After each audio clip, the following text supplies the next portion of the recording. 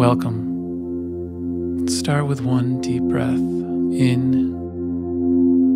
and breathe out. Once again, in and on your exhale, try to extend it two to three seconds longer than the inhale. Once more in and out. You are stuck because you've confused the content of your experience with your true nature, your true self. Our body, our brain, these are sophisticated systems designed with our survival in mind. To avoid pain, to continue on, to flourish. But humans have developed so rapidly in the past century, and we are bombarded with new situations, experiences, conflicts, and our programming was not designed for this. And so we must update it. Because our mind creates stories around our pain around the things in life we don't want to experience. But again, here is our body creating a sophisticated system to protect itself. But do not confuse the content of your experience with your true self.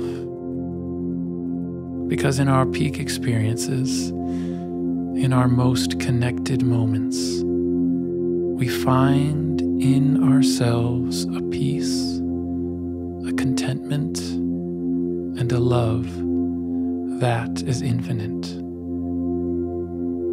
We experience these sublime moments in nature when we experience the birth of new life,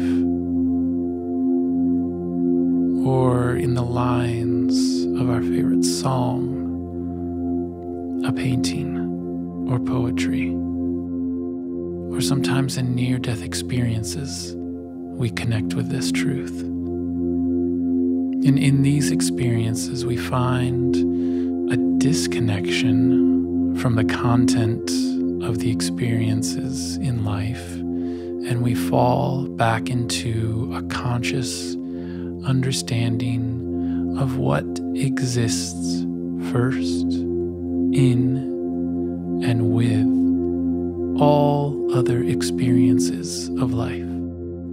The blank wall of a movie screen. This is your true self.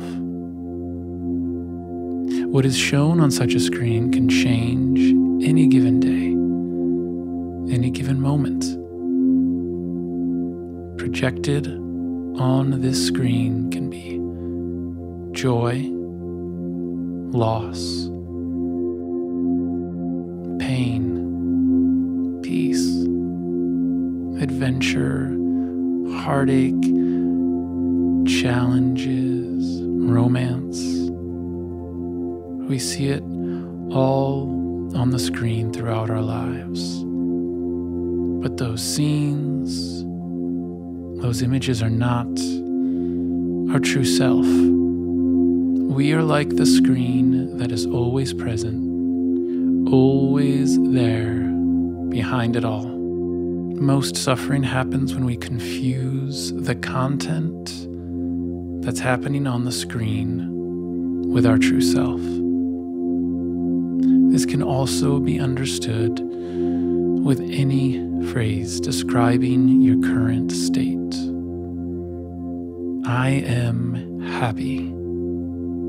I am sad. I am angry. When we identify with happy or angry, we believe that we are those emotions.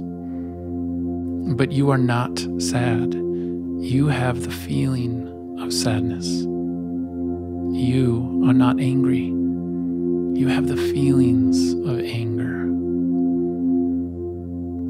consider the statement that I am precedes the feeling itself. The structure of the sentence gives away this truth that your I amness precedes, transcends, and is ever present in any emotional state find yourself in. Your emotions are information that will allow you to connect with your true self and the false stories you have about your life. So, this pain is not to be avoided, but to be welcomed. Any moments of emotional pain can be a chance to connect with yourself in a deeper way, to detach from those stories that we get from societies, cultures, communities of family or friends. We can detach from those and we can see where the pain is asking us to live more aligned and more connected. So, in times of pain, in times of meditation, anytime you are able to watch your reactions, watch your mind telling stories, don't seek to avoid the pain. Don't cease the mind's stories. Don't avoid to feel these triggers, but be curious about what they are here to reveal. And remember the I amness that you are that connects you with every other being, connects you to the contentment, the peace, the love that we all are.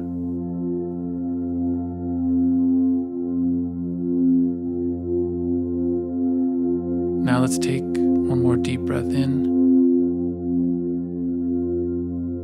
and out. Take another breath in, letting yourself sink in to deeper connection. And now release the breath in a nice long exhale. Thank you for listening to this meditation. May it bring you connection, openness, and peace.